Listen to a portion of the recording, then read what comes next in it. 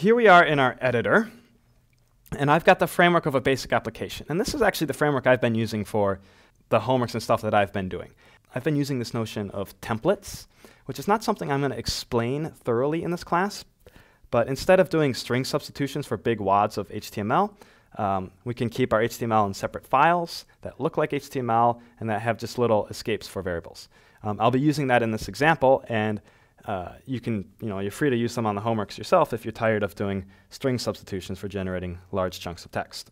And I'll also, th this kind of uh, little framework we can, we can provide if you'd like to use that. So all I've done is this is, you know, you may recognize this as a standard, you know, Google App Engine app. I added a class called Handler, which just inherits from the, the web app 2 handler, which is what you normally use. And I've just added a couple of convenience functions.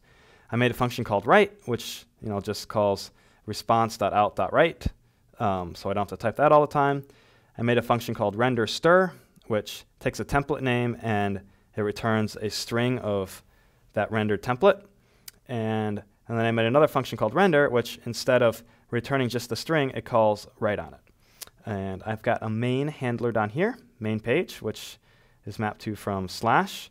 And all this does is it writes the string ASCII-chan uh, to the browser. So let's go ahead and switch to the browser real quick and make sure this is working. Here we are in our browser. We're printing ASCII-chan. Okay, all is well.